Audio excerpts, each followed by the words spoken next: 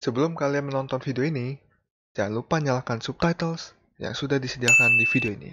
Enjoy! Halo guys, Driverster di sini. Jadi pernah nggak kalian buka TV di dalam camp, terus kalian mau beli atau jual barang karena kalian tuh males ke Trade City?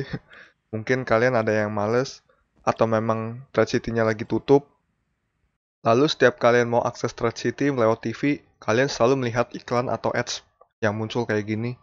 Nah, di bagian kiri sini kalian bisa lihat camp-camp orang lain yang promosiin camp mereka lewat iklan ini.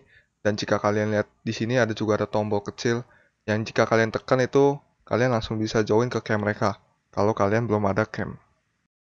Dan di tengah-tengah ini kalian juga bisa melihat banyak banyak macam senjata sama armor dijual dan kalian pun bisa langsung membelinya dengan tekan buy aja.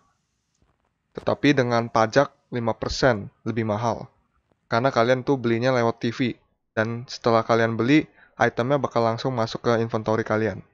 Tapi pertanyaannya, gimana orang lain tuh bisa promosin cam mereka sama iklanin barang jualan mereka ke TV ini?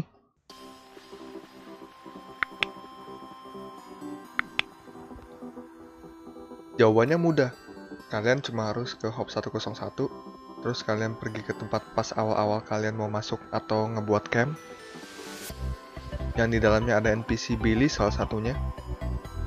Lalu kalian naik aja ke lantai 3.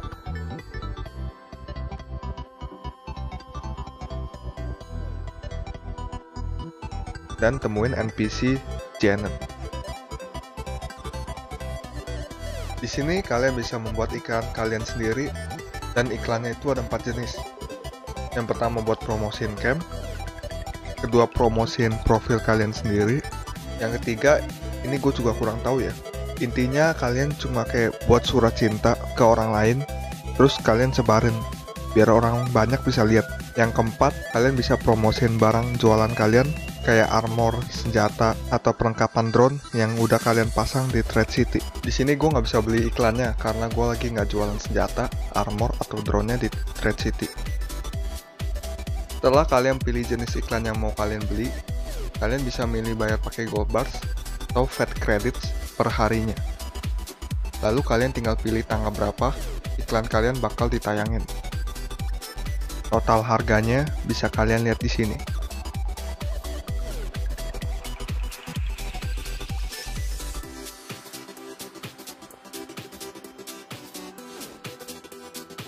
Kalau udah pilih tanggalnya, kalian bisa tekan tombol next yang kecil ini.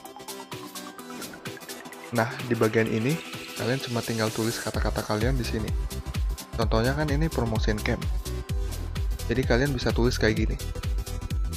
Teks murah, camp aktif. Kata-kata yang kalian tulis bakal kelihatan seperti ini di iklannya. Kalau kalian sudah yakin, kalian tinggal tekan tombol besar ini. Jenis iklan yang kedua yaitu iklan yang promosiin profil kalian sendiri. Dan bedanya, di sini kalian ada pilihan ketiga. Pilihan ketiga ini lebih mahal dari yang lain. Tapi fungsinya kalian bisa memasang iklan berupa animasi kayak gini.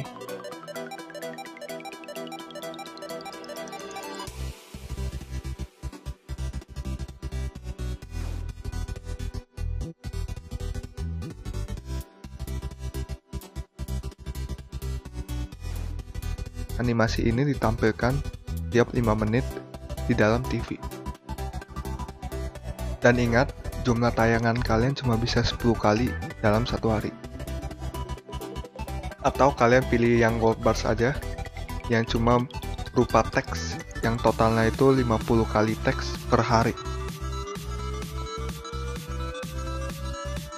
Nah, yang ketiga ini sebenarnya gue juga nggak ngerti nih, kenapa iklan ini harus ada. Dan siapa yang mau beli jenis iklan ini? Harganya mahal pula. Mungkin jika kalian ada yang mau beli, kalau gue sih enggak ya. Kalian tinggal ketik playernya, lalu kalian tulis pesan-pesan yang akan kalian sampaikan ke playernya. Simple. Jenis keempat ini paling simple. Misalnya kalian mau jual senjata. Kalian pasang senjatanya dulu di Trade City. Kalau udah, kalian tinggal balik lagi ke sini, lalu pasang iklannya. Catatan, khusus iklan yang promosiin camp, sepertinya kalian harus menjadi mayor dulu, baru bisa beli iklannya. Soalnya di sini gue bukan mayor, jadi gue nggak bisa beli iklannya. Dan khusus iklan yang jualan, kalian di sini juga bisa atur waktu buka jualannya. Misalnya contoh armor ini, kita harus tunggu 5 jam baru bisa beli itemnya. Dan beberapa iklan juga bisa ditampilin di bagian ini di dalam thread city-nya. Bagi kalian yang tidak tahu kegunaan tombol notice ini, di dalam notice ini cuma ada barang-barang yang bakal dijual pada jadwal-jadwal tertentu yang juga udah dipasang iklan. Jika kalian mau membelinya, kalian harus tunggu waktunya sampai selesai, baru bisa dibeli. Jadi ingat, iklan yang bakal ditayangin cuma bisa diakses lewat TV doang.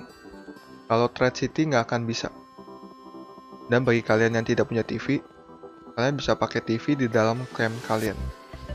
Yang ada di dalam Armor Shop, Weapon Shop, sama Camp Vault. Jika kalian orang kaya, kalian bisa beli TV-nya di mall, pakai Fat Credits. Tapi kalau kalian free to play player, kalian bisa buat TV kalian sendiri dengan beli resepnya di Formula Exchange Center. Yang bayarnya pakai gold bars dan formula R&D data dari Fusion. Atau kalian juga bisa mengakses TV di Fall Forest di dalam rumahnya